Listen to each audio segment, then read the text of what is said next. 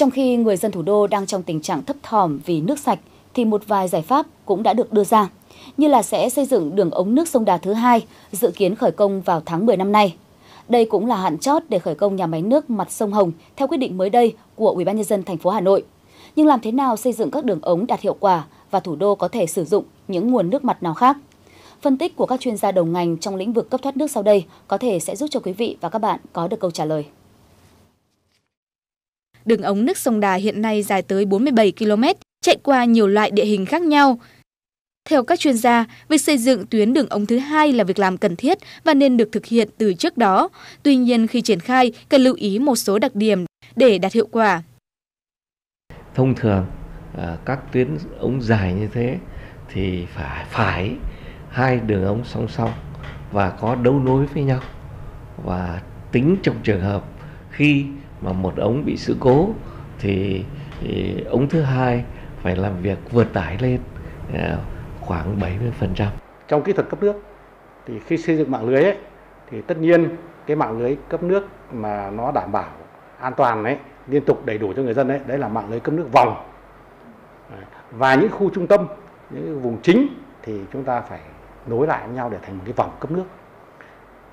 Những cái vùng ngoại ô, ngoại vi hoặc là vùng quan trọng thì chúng ta mới sử dụng đến mạng lưới cột Đấy. Bởi vì sao? Bởi vì mạng lưới vòng ấy thì trong quá trình tính toán, thiết kế thi công ừ, và chi phí xây dựng nó có thể nó có thể đầu tư hơn ừ, một chút nhưng thay vì cái đó thì nó rất lợi về vấn đề an toàn cấp nước và đảm bảo một cái yêu cầu rất quan trọng cho cấp nước là liên tục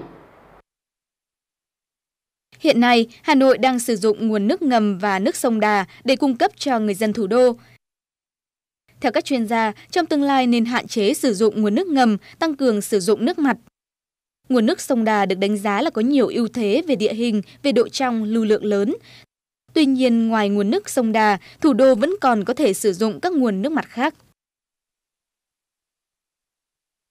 À, ngoài cái sông Đà ra, thì Hà Nội hiện nay ấy, à, chúng ta cũng còn có một số các nguồn nước mặt khác nữa. Ví dụ nước sông Hồng, nước sông Đuống.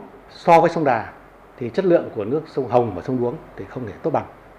Vì thế cho nên nếu chúng ta sử dụng nước mặt thì chắc chắn chúng ta phải xây dựng các cái hồ để sơ lắng. À, cái hồ có hồ sơ lắng đấy thì nó vừa làm nhiệm vụ dự trữ điều hòa để uh, nguồn cấp nước, đồng thời nó sẽ làm cho cái độ đục của nó giảm đi, đồng thời chất lượng đầu vào nhà máy xử lý sẽ Trước đó, Tổng công ty Cổ phần Xây dựng Việt Nam Vinaconex hứa hẹn sẽ triển khai tuyến ống nước sông Đà số 2 vào tháng 10 năm 2015. Và theo thông tin từ Ủy ban nhân dân thành phố Hà Nội, tháng 10 năm nay cũng là hạn chót để khởi công xây dựng dự án Tông Hồng với tổng công suất 300.000 mét khối một ngày đêm.